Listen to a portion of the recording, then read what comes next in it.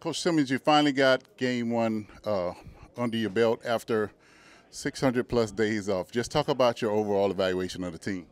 Well, you know, first off, it was very exciting to be playing again. Uh, it's been almost two years since we've been able to take a field for competition. And so just the, the atmosphere, uh, the pageantry surrounding the game, um, seeing the bands march in, the cheerleaders, the fans, it was a great feeling. Uh, and it was a great football game. Two really good football teams. Uh, two phenomenal defenses, a lot of really, really, a lot of star power on the field. Um, obviously, the outcome wasn't what we wanted or expected, but again, in football, you win some, you lose some. You know, so for us, you know, we'll take the good part, which is the fact that we're playing football again, and uh, we'll learn from the bad. You know, things that we didn't do well, and uh, we'll get ready to get better this coming week. But all in all, great experience for our guys, and uh, looking forward to next time we're able to do it again. Coach, your defense only gave up one touchdown. Uh, just talk about how good that was against a high-powered team like Jackson State. Well, I've been saying it from the beginning. I, I think this defense has a chance to be special. Um, a lot of great players. Um, I love what we're doing schematically, you know, and so I, I, think we have a chance to, to have one of the most dominating defenses in FCS football, and, and we showed that uh, this past Sunday. So it's just about consistency now. You know, we've shown that we can play at a high level. Now it's about continuing that, cleaning up some things. We still have a couple of things to clean up on that side of the ball as well. But I couldn't be more impressed with what we what we showed defensively, holding a team like Jackson State to seven points. Special teams, you had uh, both ends of the spectrum. You had uh, made field, two made field goals, had a block, a field goal block, but you also had a great punt return. I mean, kickoff return with the reverse. Uh, just talk about special teams and where you plan to go from special teams. Well, I thought we performed well at times. Um, you know, the two field goals that we that we made executed perfectly. The one that got blocked was poor execution across the board. You know, so we have to clean up the details in that phase because we do have a kicker that we feel can make it from long distances out. Um, I thought we punted the ball really well as always. Uh, the one return, uh, we hit the ball the wrong direction. You know, so again, it goes back to little things. So it's good of a player as Chris Faddoul is. He's the best punter in the country. You know, we, are depending on that ball being placed exactly where the coverage is, and on that particular one, it wasn't exactly where it needed to be. And so he'll get better at that. Obviously, that's not something he does uh, hardly ever. You know, so I know he's kicking himself, even though he averaged again 46 yards per punt. Um, the expectation is perfection. You know, he's the one that holds himself to that standard. Was really uh, pleased with the kickoff return. Thought we did a really good job, and I thought we covered well. You know, so all in all, uh, I thought the special teams performed really well, aside from the one return, and then obviously the uh, the block field goal, which ultimately you know came down to, to costing us the game. Well, Coach, when you think of Willie Simmons, you normally think offense. And so offense was not quite up to your expectation, as you said, and there are some things you need to clean up. Just talk about the offense in general.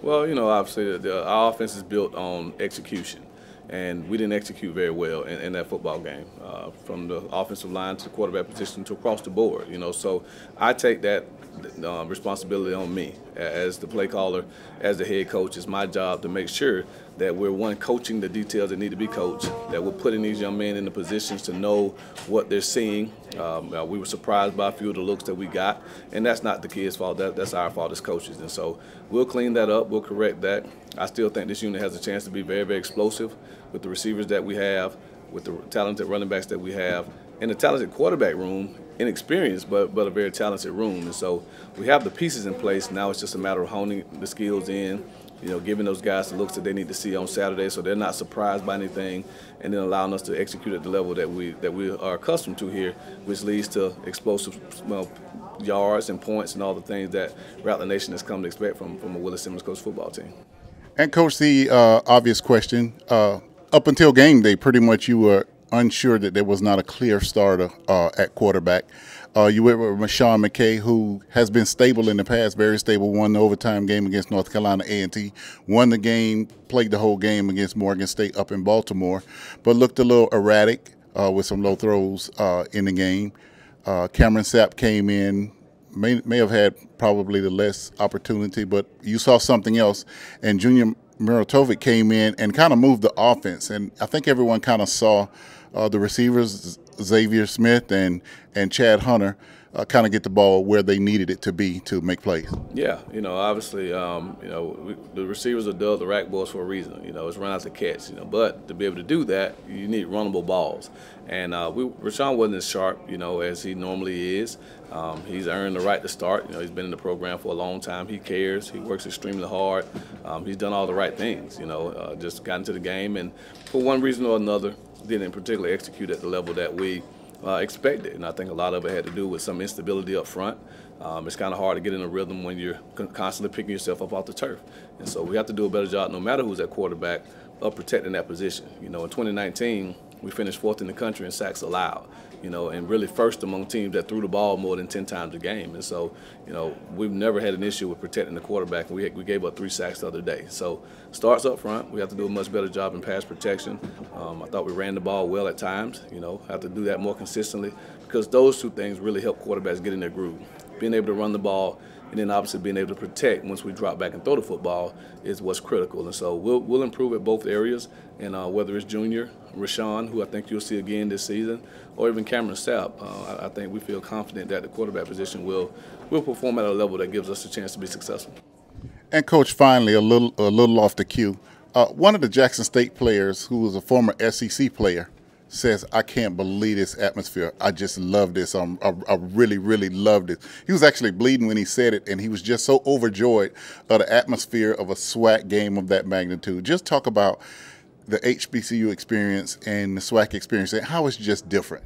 Well, I think the game. I thought the game was everything it was built to be. You know, uh, revival of a, of, of, a classic that's been around for a very long time. Two storied programs, uh, a lot of anticipation you know, due to the fact that we're FAMU's into a new conference now and hadn't played football in over a year, and so I think it lived up to all of that. You know, so for those guys that took the field that day, whether you're coming from Power Five institutions, Group of Five, Division twos or whatever, uh, it's a different feeling, you know, and that's what makes SWAC football what it is.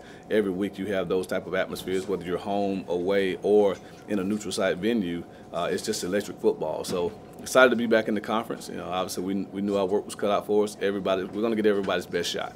You know, that's just what we expect here FAMU. We're going to get everyone's best shot, so we have to be prepared for that. But uh, with this group that, that I've been around for the last four years, uh, I know we'll bounce back.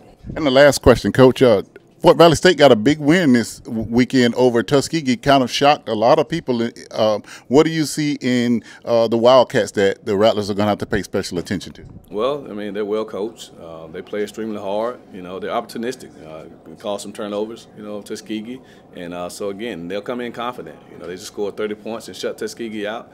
We just in the game and lost, and didn't didn't find the end zone on offense. And so defensively, they should come in with a lot of confidence. So it's a great challenge for our offense to see if we can respond. Uh, they scored 30 points, so now it's a great challenge for our defense to see if we can, you know, have the same type of success this week that we had in the last game. So uh, again, looking forward to it. It'll be a great, a great home opener here for us.